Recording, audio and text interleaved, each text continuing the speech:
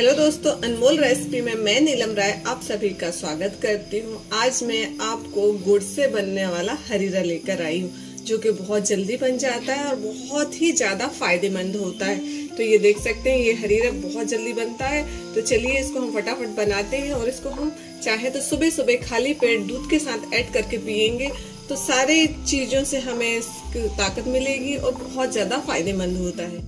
हरीरा बनाने के लिए हमें चाहिए लौंग आठ से दस लौंग है। सॉल्ट पाउडर है, दो टेबल स्पून खसखस है, एक टेबल स्पून एक टेबल स्पून टर्मरिक पाउडर है, ये हमारे मसाले हैं। और ड्राई फ्रूट्स मखाना है, एक कटोरी। बादाम है हाफ़ कटोरी, इसको रफली चॉप कर लिया है एकदम हमने नारियल का बूरा है, घर से ही ग्रेट किया हुआ नारियल है हमारा। और ये काजू है।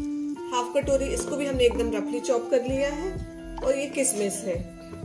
एक कटोरी हमारा गुड़ है। हाफ़ कटोरी किशमिश है। इसमें हम जितनी भी रफली चॉप करी हुई चीज़ें डालेंगे ना, उतना ही ज़्यादा हमारा हरीरा टेस्टी बनेगा। अब इन सब चीज़ों को हम घी में फ्राई करेंगे। तो चलिए अब हम गैस की तरफ़ चलते हैं। अब हमने कढ़ाई रख दी है गैस पर। अब हम इसमें थोड़ा सा घी ऐड करेंगे।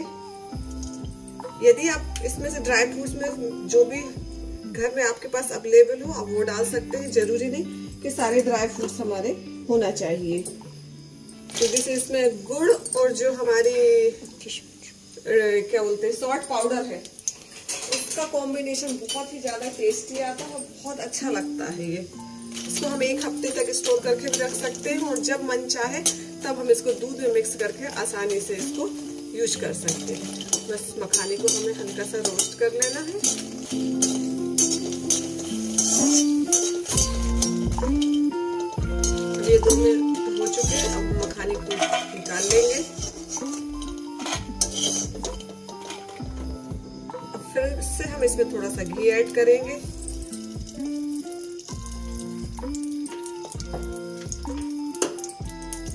फिर इसके बाद हम इसमें ऐड करेंगे किसमिस। इसको भी हल्का सा इसी तरह फ्राई कर लेना है। हम इसमें ऐड करेंगे काजू।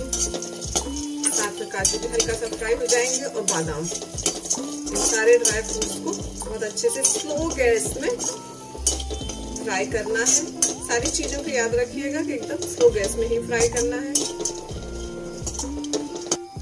अब इसमें हम नारियल भी ऐड कर देंगे। ये सारी चीज़ों को बहुत अच्छे से मध्य आँच में फ्राई करना है। ये देख चुके हैं ओनली एक मिनट में हमारी सारी चीज़ें बहुत अच्छे से फ्राई हो चुकी हैं, मध्य गैस अब हम इसको एक साइड कर लेंगे, सारी चीज़ों को निकाल लेंगे। अब फिर से हम थोड़ा सा घी डालेंगे, एक टेबल स्पून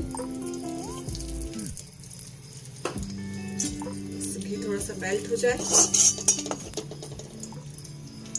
फिर जो हमने लौंग रखे हुए थे, आठ से दस लौंग थी, उसको हम अब इस घी में डाल देंगे। हल्की सी हमारी लौंग फ्राई होंगी तो फिर इसके बाद हम इसमें ऐड कर देंगे खसखस। खसखस को भी हल्का सा फ्राई करेंगे। देख सकते हैं, खसखस हमारी चटचटाने लगी है घी में। अब इसके बाद हम हल्दी ऐड कर देंगे। हल्दी को भी एकदम स्लो गैस में फ्राई करेंगे। सारी चीज़ों को हल्का सा फ्राई हो चुकी है, अब हम इसमें गुड़ ऐड करेंगे।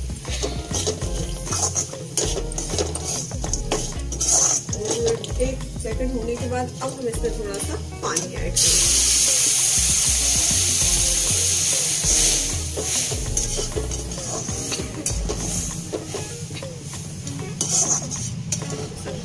गुड़ को मेल्ट होने तक पकाएँगे।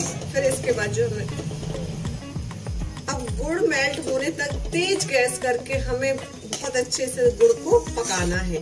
जब एकदम उबाल आने लगेगी, बहुत अच्छे से, फिर इसके बाद हम सारी चीज़ें इसमें ऐड कर देंगे। ये देख सकते हैं दोस्तों, हमारे गुड़ में बहुत अच्छी उबाल आने लगी हल्का सा थोड़ा सा और बचा हुआ है। ये मेल्ट होने लगा है। अब हम इसमें जो जितने ड्राई फ्रूट्स रखे हुए थे, वो सारे ड्राई फ्रूट्स इसमें ऐड कर देंगे। इस ड्राई फ्रूट्स में थोड़ा बहुत भी कम आपके यहाँ ना हो तो आप उसको स्किप कर सकते हैं। और फाइन पाउडर भी ऐड कर दिए हैं। इन सारी चीज़ों को दो मिनट और उबालना है। ये हमारा फाइनली ठंडी वाला हरीरा बनकर तैयार हो चुका है। इसको हम चाहे तो ठंडा करके स्टोर करके एक हफ़्ते तक रख सकते हैं, या फिर इसको हल्का हल्का इसी तरह थोड़ा सा ठंडा होने के बाद हम यदि खाएँगे इसको या पियेंगे जो हमारे गले का दर्द है, सर्दी है, वो बहुत जल्दी ठीक हो जाएगी। और यदि आपको मिठास थोड़ा कम चाहिए है तो आप दूध गर्म करिएगा। दूध गर्म करने के बाद इसको डालिएगा उसमें और आराम से आप इसको पीजिएगा। हमारी सर्दी बिल्कुल एक ही दिन में गायब हो जाएगी। अब हमने हाफ़ ग्लास कुनकुना दूध लिया हुआ है। इसमें हम ऐड करेंगे जो हमने हरीरा बनाकर रखा हुआ तो उसको दो से तीन टेबल स्पून इसमें ऐड कर देंगे। जितना आपको मिठास पसंद हो, आप उतना इसको इसमें ऐड कर सकते हैं। बस इस तरह इसको हम ऐड कर देंगे। और ये हमारा फाइनली ठंडियों वाला दूध बनकर एकदम रेडी हो चुका है। हम इसे एक हफ़्ते तक स्टोर करके रख सकते हैं, इसमें कुछ भी नहीं होगा। बहुत ही अच्छा टेस्टी हरीरा बनकर तैयार हो चुका है।